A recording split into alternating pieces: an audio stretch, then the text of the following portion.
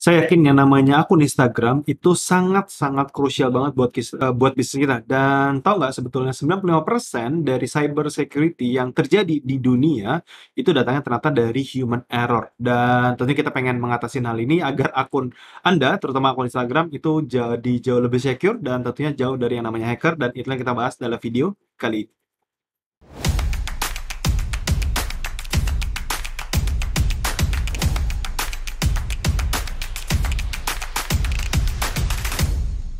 Hai, kembali lagi bersama saya Niko dari Sosial Media Market ID, tempat kita belajar tentang seputar pemasaran media sosial. Dan sesuai dengan topik kita tadi, gitu ya, kita akan bicara tentang sebenarnya gimana sih cara mengamankan akun Instagram kita agar terlepas dari yang namanya hacker dan lain-lain. Seperti yang Anda tahu, gitu ya, uh, hal ini sering banget disepelekan oleh kebanyakan orang yang menggunakan Instagram karena mereka merasa bahwa yang namanya ya hacker itu ya siapa sih yang mau ngehack akun-akun kecil atau akun baru gitu ya. Nah, ini yang salah sekali karena yang namanya orang ngehack gitu ya, terutama kayak yang hack akun Instagram itu sangat besar sekali dampaknya karena banyak banget pencurian-pencurian data nggak cuman sekedar curi akun Instagram karena saat akun Instagram Anda mungkin connect dengan WhatsApp-nya, Anda bisa connect dengan yang lain, itu juga bisa berimplikasi atau merembet gitu ya dari satu platform bisa jadi ke platform yang lain. Which is jadi jadi harus hati-hati dengan yang namanya uh, data breach atau yang namanya hacker terjadi.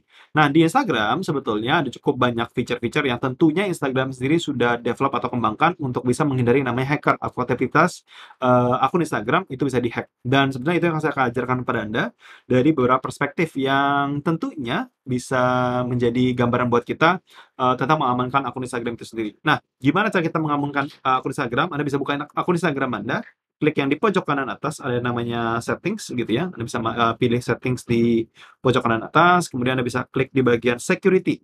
Jadi ada tingkat uh, kalau misalnya mungkin punya Anda akun ini di bahasa Indonesia gitu ya. Mungkin Anda bisa cari pilihnya kayak keamanan atau pengamanan yang intinya gambarnya kayak ada gambar centang di dalam perisai ya. Nah, klik security, di sini Anda bisa lihat uh, ada fitur baru yang menurut saya cukup menarik dari Instagram di mana dia melakukan namanya security check up. Jadi kalau Anda perhatikan di sini ada nama security check up gitu ya.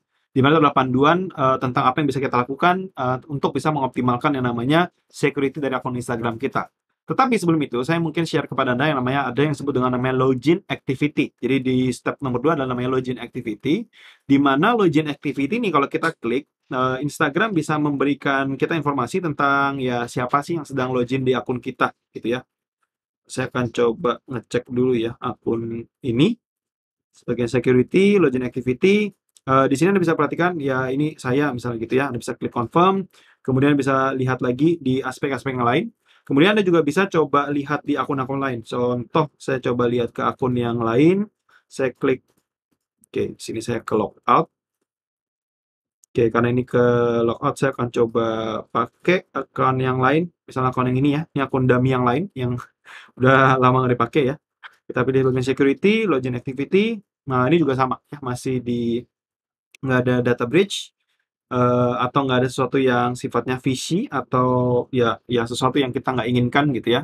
Saya coba lihat lagi mungkin di account dummy yang lain apakah ada activity unusual atau yang boleh dibilang cukup sering atau cukup uh, boleh dibilang jadi potensi. Kadang-kala di sini Anda bisa lihat gitu ya di login activity kadang-kala bisa jadi yang muncul bukan cuma Anda atau bisa muncul lagi orang lain dan itu Anda bisa klik uh, titik tiga Anda bisa klik logout. Jadi kalau misalnya Anda merasa bahwa ada uh, tempat di lain dari Anda gitu ya, di lain dari tempat uh, kota Anda atau misalnya nah hati-hati bagian ini ya. Kadang-kala uh, provider atau ISP Indonesia jadi koneksi dari internet Anda yang connect pada HP tertentu bisa jadi nggak sesuai dengan GPS yang dibaca sama Instagram. It's okay. Tetapi yang penting adalah Anda perlu mengamati dan mencermatin mana saat Anda buka login activity, yang mana yang aktif itu biasanya adalah device Anda yang real. Jadi kalau Anda sedang buka Instagram dan aktif satu, berarti itu ya, itu diri Anda sendiri. Terlepas dari mungkin uh, lokasinya nggak seakurat yang asli misalnya gitu ya. Karena saya beberapa saya perhatikan, kadang-kala bisa jadi lokasi yang diberikan Instagram itu nggak sesuai sama lokasi yang kita uh, kita berada ya itu wajar gitu ya karena ISP atau provider Indonesia itu kadang-kala uh, spot lokasinya bisa jadi di host ke beberapa uh, daerah yang bukan daerah yang ada uh, yang kita berada ini seperti itu. Nah kemudian uh, Anda bisa perhatikan sekali lagi di login activity tadi ya uh, Anda pastikan logout di beberapa yang uh, menurut Anda gitu ya, aneh gitu bisa jadi kayak di luar negeri atau di India, kadang kala bisa sampai kayak gitu ya, ada yang di Jepang mungkin tautologin. Nah, itu Anda harus hati-hati. Kemudian Anda tinggal logout aja. Kalau sudah, Anda juga bisa menyalakan namanya two factor authentication di mana two factor authentication itu bisa uh, dari tiga macam yang saya uh, pribadi rekomendasikan. Ada yang namanya WhatsApp gitu ya. Ada juga yang namanya authentication app di mana authentication app itu yang saya biasanya juga sangat pakai ya yang juga direkomendasikan oleh si Instagram sendiri. Kemudian juga ya message atau uh, eh, SMS gitu ya juga bisa. Jadi ada tiga yang bisa anda pakai. Mana yang paling baik uh, buat anda pakai? Saran saya sih nyalain aja semuanya. Kalau memang nggak ada masalah gitu ya. Jadi kalau anda pakai WhatsApp silahkan pakai uh, WhatsApp gitu ya. Authentication app itu mungkin saya mungkin share kepada anda. Authentication app itu apa? Jadi Anda bisa pakai, yang saya biasa pakai adalah namanya Google Authenticator, di mana Google Authenticator itu juga tools free gitu ya, di mana Anda bisa lihat semua kode-kode yang nanti bentuknya kodenya seperti ini ya, di mana kode-kode ini nanti Anda integrasin sama aplikasi Instagramnya, tinggal di scan QR atau enter setup key gitu ya. Anda tinggal uh, buka dan nanti akan ada key yang tergenerate setiap kalian Anda login. Jadi setiap Anda uh, login di Instagram atau ada orang lain login, ke Instagram Anda gitu ya, dia akan diminta kode dari Google Authenticator. Jadi itu namanya two factor authentication. Sangat baik sekali buat Anda pakai. Kemudian di sini juga bisa uh, cek berdasarkan security check up gitu ya, di mana security check up ini dia akan bantu kita uh, untuk melihat katanya uh, password uh, passwordnya uh, buat yang lebih bagus atau yang lebih kuat gitu ya.